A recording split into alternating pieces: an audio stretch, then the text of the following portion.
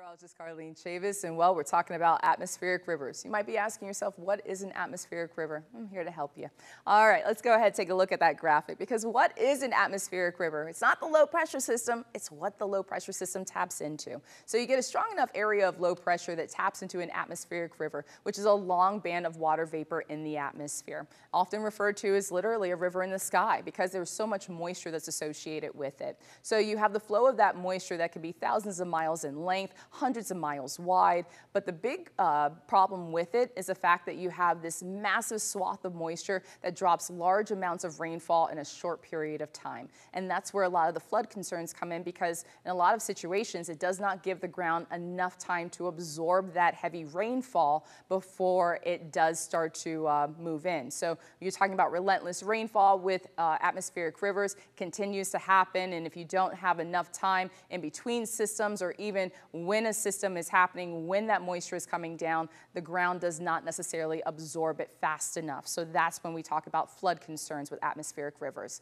It travels across the Pacific Ocean, steered by prevailing winds moving from west to east, warm bands of tropical moisture. As mentioned, it's tapped into by an area of low pressure, sends it in our direction. Now, the odds of our rain chances, they go up when we have atmospheric river events because they have so much moisture associated with them. It's also heavier across the mountains as it lifts. If you could bring me back on cam real quick. And that's because if you think about a river that is flowing, just kind of going along, you put something right there in the middle of it. And for us, especially across Southern California, that's north to south facing mountains. That's going to change the flow. So as a result, you have that flowing water and then you start to have it lift a little bit more.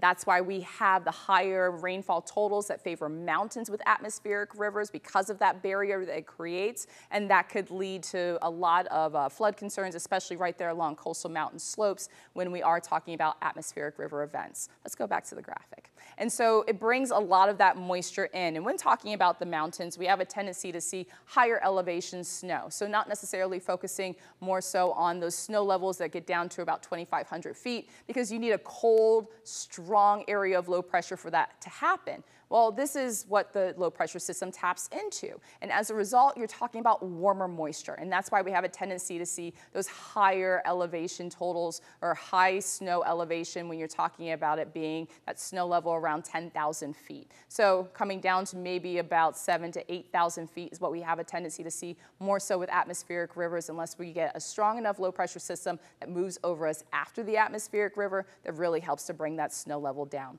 But the big hazard is always the heavy rainfall. And so that leads to concerns of flooding, mudslides, and debris flows, especially when it comes to burn scar areas, areas that have been uh, scorched. The ground has been scorched because of uh, fires that have broken out, brush fires, wildfires. It does not have enough time to absorb that moisture. And so that's when it can cause damage to property and people. And so we focus more so on the flood concerns when it does come to atmospheric rivers. As mentioned, it's so much moisture in a short period of time.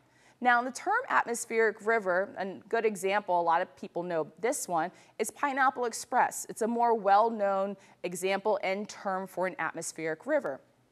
The difference is with Pineapple Express, it has a tendency to be a little bit more narrow. It's a strong atmospheric river and develops in the tropical Pacific. Now, atmospheric river is a newer term that was coined in the late 1990s. And also talking about atmospheric rivers, it's a little bit different too because it has a scale system very similar to what we would see for a hurricane. So with atmospheric rivers, they have uh, a scale that goes all the way from one to five. So an A AR1, AR3, AR5. You're seeing that basically numerical order right there. So our AR1 is a weak atmospheric river. It brings in beneficial rainfall. And of course, when we're talking about Southern California, we always say we could, we could use the rain, we need the rain, especially with drought conditions. So a weak atmospheric river, definitely looking to be beneficial. You have moderate one it's mostly beneficial, but some of those hazards start to pop up, especially with flood concerns. But once you get into the territory of an AR3 to an AR5,